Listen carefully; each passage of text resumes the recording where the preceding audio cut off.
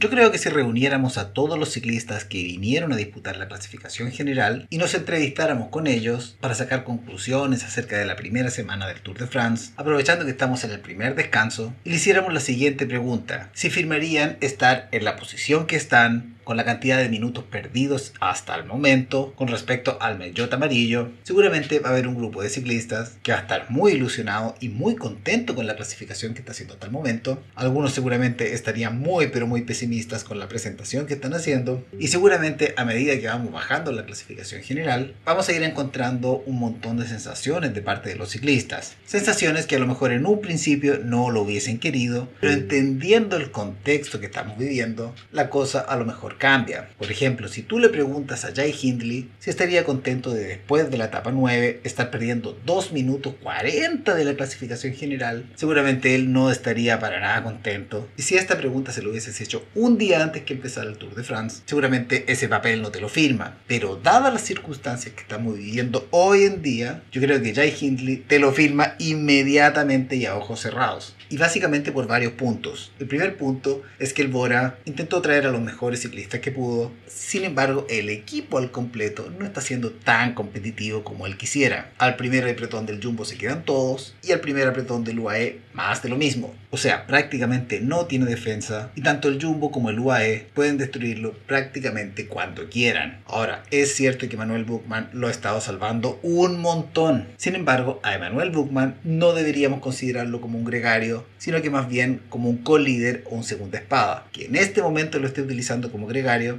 es porque sencillamente las cosas no están saliendo para nada fácil para el Bora, y ya que se le acaban muy rápido los compañeros para poder defenderse, tuvo que echar mano de donde y finalmente tuvieron que ocupar a Emanuel Buchmann para mejorar la defensa de Jay Hindley, porque sencillamente Jay Hindley quedaba inmediatamente solo, y en una fase de ataque Emanuel Buchmann tampoco es tan potente. Así que entendiendo esta situación, nosotros podemos decir que Jay Hindley a lo mejor no vino a esto, no vino a perder tanto tiempo, o a lo mejor tenía la idea de que podría llegar a ser más competitivo. Pero si nosotros nos ponemos a analizar el etapa a etapa, una por una, nosotros podemos decir que Jay Hindley está teniendo una ventaja muy pero muy guapa con respecto a los otros aspirantes a la clasificación general, y a pesar de que tenga un montón de tiempo perdido contra Pogacar y Vingegaard, la cosa no está tan negra como uno quisiera pensar. De esta manera, siendo realista, creo que Jay Hindley te firmaría ese papel donde sea, y el gran objetivo que tiene hacia adelante es defender este podio, porque tiene un montón de buitres que se lo quieren consumir.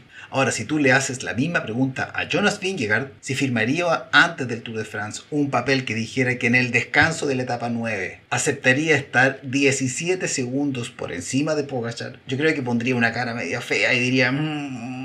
no es lo ideal, pero si estoy encima, me sirve y si quieres te lo firmo. Porque si uno es un poco más flexible, podría llegar a entender que la cosa a lo mejor el camino se torció, pero ya estando de amarillo y ya teniendo un poquito de ventaja que sea, la cosa no es que esté pintando tan mal. Ahora le haces esa pregunta a Pogachar y las cosas a lo mejor pueden cambiar un poco. Si firmaría un papel que dijera que está en la situación que está, él seguramente te diría que no, porque él siempre le gusta estar de amarillo. Sin embargo, dada la lesión que tuvo, y en realidad no vino a esto, pero a lo mejor no está tan lejos, pero sí, pero no, pero sí, pero no, a lo mejor te puede sacar algún tipo de conclusión en que sabes que ya, bueno, 17 segundos no es tanta pérdida y todavía quedan dos semanas y un montón de montaña. Se puede recuperar, no es algo que sea irrecuperable. Es más, con solo la contrarreloj ya puede ser recuperable. Así que tan, tan, tan mal no está la situación. Distinto es el caso si nosotros nos vamos un poco más atrás en la clasificación general y le hiciéramos la misma pregunta a los ciclistas. Carlito Rodríguez, ¿estarías conforme si te dijeran que vas a terminar la etapa 9 en el cuarto puesto? Yo creo que te diría que sí. Es su primer Tour de France, es un debutante. Prácticamente toda la gente que tiene a su alrededor ya son ciclistas consolidados y tienen un sólido palmarés en grandes vueltas. Porque Vingegaard ya ha ganado un Tour de France, Pogacar ya ha ganado dos Tours de France, Jay Hindley ganó un Giro de Italia y medio, Adam Yates ha sido podio en Tour de France, Simon Yates que te ganó una Vuelta a España y a lo mejor Carlito Rodríguez como debutante, a pesar de que siente que va un poquito más, hay que reconocer la situación en que está y realmente lo está haciendo muy pero muy bien para hacer su debut. De ahí para atrás yo creo que la disconformidad va aumentando cada vez más, y cuando tenemos a gente que seguramente está muy disconforme, no solo con su puesto en la clasificación general, sino que también con su tiempo llegados a la etapa 9 del Tour de France, entonces nosotros tendemos a pensar que esta gente que está disconforme tiene de alguna manera la obligación de enmendar las cosas que han hecho hasta el momento y hacer algunos esfuerzos por tratar de recuperar el terreno perdido. ¿Se puede recuperar el terreno perdido? Por ejemplo, Mikel Landa podría recuperar los nueve minutos que ya tiene perdido en la etapa 9. Estamos hablando de nueve minutos. Estamos hablando de un minuto por etapa. ¿Se puede recuperar eso? Uf no va a ser fácil, pero eventualmente vivimos en un Tour de France que da muchísimas vueltas y vaya a saber uno cómo estas vueltas pueden ir cambiando y nos puede ir proponiendo otro tipo de situaciones. Recordemos que hay una evidente batalla entre Jonas Vingegaard y Tadej Pogachar, en que estos dos tipos se están sacando los ojos, y evidentemente este sacarse los ojos seguramente con el tiempo va a ir abriendo un montón de espacios, y estos espacios en la segunda semana hay que aprovecharlos. La segunda semana generalmente es para ciclistas valientes, ciclistas a lo mejor que están en la posición 15, se meten en fugas y logran avanzar a la posición 7, a la posición 6, a la posición 5. Esto les va a significar un desgaste brutal, sin embargo hay que ir buscando la recuperación de tiempo y al día siguiente la consolidación. Son dos fases que son imprescindibles para defender una clasificación general o en su defecto para ir al ataque en una clasificación general. Por ejemplo, hoy ataco 60 kilómetros de meta, como no soy peligroso, nadie me marca, tengo un ciclista por delante y finalmente termino el puerto con dos minutos y medio de ventaja. Es cierto, había perdido 9 minutos y nunca fui peligroso ni para Pogacar ni para Vingegaard, pero la ventaja ganada ya es una ventaja importante y al día siguiente toca consolidar, porque ya con las piernas cansadas y un desgaste evidente, es muy probable que si el día que toque consolidar esta ventaja, la etapa sea extremadamente dura, seguramente va a ser mucho más difícil. Si no es capaz de consolidar esa ventaja, a lo mejor la pérdida puede llegar a ser mucho más grande, no solo pérdida en tiempo, sino que también pérdida energética. Así que saber elegir las etapas en las que se puede atacar con el fin de que sea mucho más fácil defender es fundamental. Y esta semana, a partir del martes, a partir de mañana, las etapas no son extremadamente duras y son lo suficientemente difíciles de controlar como para que los ciclistas, tanto del Jumbo o del UAE, deciden quemar todos sus gregarios con el fin de que no se vaya una fuga. Así que creo que para ciertos ciclistas que han perdido muchísimo tiempo en la clasificación general, hay que estar atentos a las fugas, porque si no están conforme con la participación que están teniendo hasta el momento, puede ser muy válido ir en búsqueda de la fuga e intentar recuperar tiempo desde adelante, tal y cual lo hizo Jay Hindley en la primera semana. Ahora, puede ser Jay Hindley el que haga un nuevo intento por intentar meterse en una nueva fuga multitudinaria que se le termine escapando de las manos tanto al UAE como al Jumbo. Sí, es posible. Incluso puede ser hasta deseable para ciertos ciclistas que estén disputando ciertos puestos de la clasificación general. Por ejemplo, ¿qué pasaría si se escapara Jay Hindley en una fuga multitudinaria y se le termina colando nuevamente en una fuga de 36 ciclistas? Estoy hablando de una situación muy pero muy similar a la del otro día. ¿Podría controlarla el Jumbo? Seguramente ellos solos no, porque si deciden gastar las fuerzas del equipo tan lejos de meta en controlar una fuga tan difícil de controlar, seguramente lo podrían llegar a pasar muy pero muy mal, porque a lo mejor tienen la fuerza para controlar la fuga multitudinaria que se le está yendo, sin embargo, ocupar las fuerzas en la fuga haría que esa fuerza, ese músculo del equipo, no se ocupe realmente en lo que importa, que es seguir destrozando y defendiéndose a la vez de Tadej Pogachar, porque es Tadej Pogachar el que quiere provocarles el daño, y no tanto la fuga multitudinaria. En ese sentido, los equipos importantes que tengan varios ciclistas metidos en la clasificación general, en la parte de arriba, como por ejemplo el Ineos, el Jumbo y el UAE, debiesen separar los equipos y dividirlos, darle más funciones a ciertos corredores y quitarles funciones a lo mejor a otros corredores. De esta manera, en la semana mercenario, en la semana de fugas que van a llegar, perfectamente puede ir Septius o a lo mejor acompañándose de un Go metido en una fuga multitudinaria en la que también podría ir, no tirarían un metro. En el caso de que también fuera gente como Jay Hindley, como un Roman Bardet, un David Goudou y ese tipo de gente que ya tiene tiempo perdido en la clasificación general, pero todavía no están tan lejos como para decir tiene el Tour de France perdido. Así que por un lado estamos diciendo que aún hay patria con ciudadanos y por otro lado estamos diciendo queda poca patria, pero todavía se puede luchar por algo. Así que pienso yo que en esta semana mercenario, donde pueden realmente verse muy perjudicadas las defensas, porque es muy difícil controlar en este tipo de terrenos, especialmente a gente que ha perdido un montón en la clasificación general y se debiesen controlar desde el equipo, desde el pelotón, porque realmente no son un peligro tan evidente Así que yo creo que hay que buscar maneras de atacar, maneras de defenderse y plantear nuevos sistemas de defensa, como por ejemplo un defensa metido, inserto en la fuga, que sea capaz de defender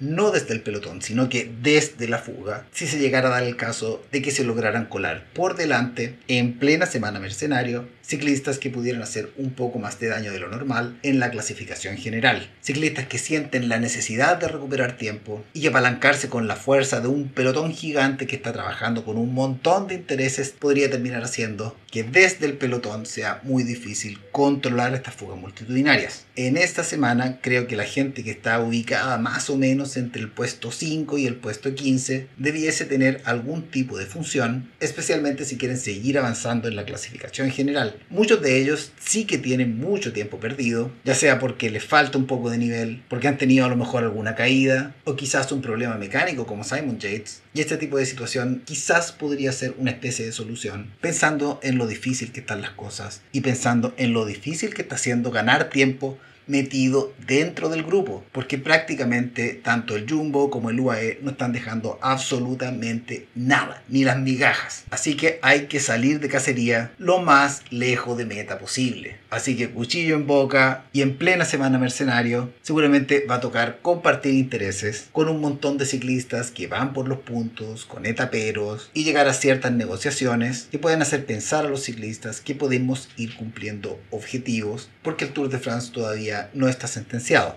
Ahora, si nosotros miramos la clasificación general, nos vamos a dar cuenta de algo que es súper interesante y que nadie lo está viendo, a pesar de lo evidente que es. Y es que al hacer una primera semana tan pero tan dura, los tiempos perdidos contra los jefes de filas de los grandes equipos están siendo muy pero muy grandes. Ahora, si tú tomas la clasificación general, si tú estás viendo esta clasificación general, cualquiera podría llegar a pensar que no estamos en el descanso de la primera semana, sino que estamos en el descanso de la segunda semana. Porque repito, hay solo 6 ciclistas dentro de los primeros 5 minutos y solo 16 ciclistas dentro de los primeros 10 minutos. Y eso que estamos en la primera semana recién. ¿Y qué quiere decir esto realmente? Que si tenemos resultados de segunda semana recién en el descanso de la primera semana, es porque el Tour de France se nos va a hacer eterno. Y en el descanso de la segunda semana, si seguimos esta proyección, seguramente vamos a tener resultados que perfectamente podrían ser más parecidos a una clasificación final que una clasificación del descanso de una segunda semana. Esto quiere decir que los ciclistas que son más fondistas, los más duros, los más tiesos, los más fuertes, los más rudos, los que nunca se doblan, podrían tener una nueva oportunidad para que les vaya bien en el Tour de France. Porque muchas veces se ha dicho que si el Tour de France tuviera cuatro semanas, obviamente este ciclista que fue todo el tiempo a más, a más, a más, a más, a más, hubiese terminado ganándolo. Porque es cierto que hay ciclistas que llegan muriéndose a la tercera semana y hay ciclistas que en la tercera semana son capaces de recién sacarle provecho a su rendimiento una vez que todos los demás están reventados. Ojo con esto, porque los ciclistas ultrafondistas perfectamente podrían ir escalando posiciones tanto en la segunda semana como en la tercera semana, porque el cansancio acumulado sencillamente podría empezar a pasar la cuenta y muchos de los ciclistas terminarían reventados, faltando tres o cuatro o cinco etapas todavía viendo síntomas de evidente cansancio y agotamiento, cuando todavía falta un montón de Tour de France. Oye, ¿y esto puede ser posible? Perfectamente posible. Recordemos cuánto le gustaba a ciclistas como Vincenzo Nibali llevar las cosas al extremo, especialmente en la tercera semana, en las que muchas veces llegaba a recuperar 5 o 6 minutos jugando a ataques lejanos, utilizando sus gregarios para que rompan el pelotón a 40 o 50 kilómetros de meta. Y de ahí en adelante, sálvese quien pueda. Y que finalmente el cansancio termine arruinándole la calidad y la velocidad a los ciclistas, especialmente en montaña, reventándole su resistencia. Así que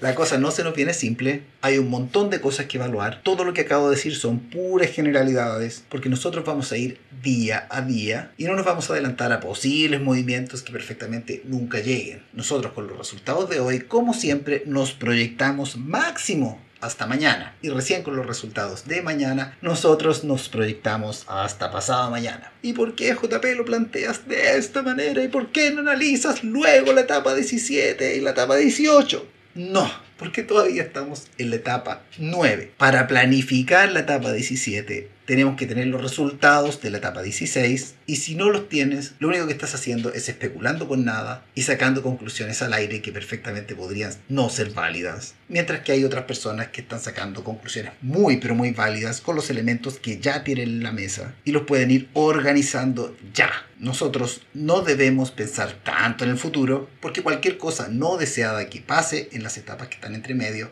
por ejemplo, un pinchazo a 5 kilómetros de meta puede cambiar por completo toda la fisonomía de la clasificación general del Tour de France. Así que nosotros no nos adelantamos, diagnosticamos estrategias con los elementos que ya tenemos y en esta semana mercenario nosotros tenemos que tener mucho pero mucho ojo en cómo gastamos las fuerzas, cómo marcamos a ciclistas que eventualmente podrían llegar a ser peligrosos y cuál es la planificación que tenemos para utilizar los ciclistas que tenemos en función de que si necesitamos defendernos, atacar, buscar avanzar en la clasificación general, buscamos ganar una etapa o sencillamente le damos un giro a lo que vinimos a hacer y terminamos disputando otra cosa, como por ejemplo, ya que un gran escalador que tiene mucho tiempo perdido en la clasificación general, a lo mejor puede que ya no pueda volver a meterse a disputar con Pogacar y Vingegaard, pero sí le alcanza para ir en búsqueda de la fuga todos los días y de esta manera ir sumando puntitos que le aseguren quizás el mayor de la montaña. Recordemos el trato que habíamos hecho también de que si tú quieres que haga algún tipo de análisis con imágenes,